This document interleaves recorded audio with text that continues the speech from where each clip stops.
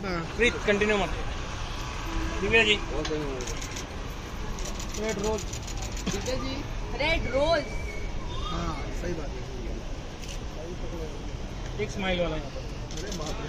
Divya ji second क्या इधर इधर देख अबे। वो बोलेगा ऐसे। दो सेकंड ना दिव्या जी थोड़ा टर्न हो जाओ ना